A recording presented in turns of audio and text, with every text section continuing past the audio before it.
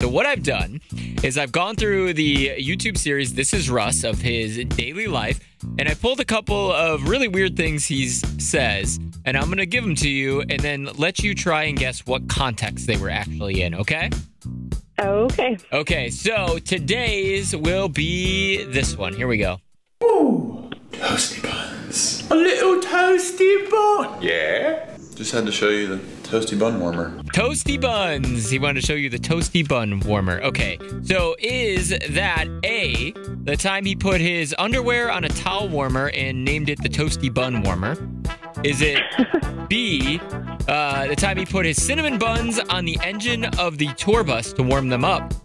Or is it C, the time he put his own butt too close to someone's lit cigarette after a show?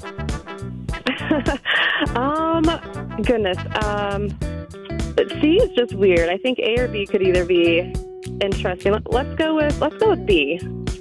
Okay, so you think it was when he put his cinnamon buns on the engine of the tour bus to warm them up?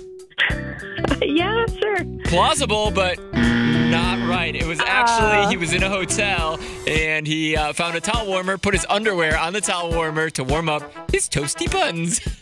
Um,